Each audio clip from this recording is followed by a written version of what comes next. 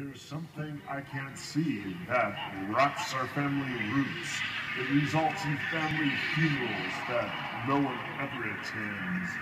When I try to sleep, I can smell my dying flesh. I close my eyes, I clench my jaws, I drink myself to death. I look at my skin for hours with a penlight and a pick. My body is a sour monster that keeps my spirit sick. I take so many showers, the smell lingers on for days. If I burnt myself to ashes, it would still not go away. My mother's dead, my sister's dead, my uncle and my brother.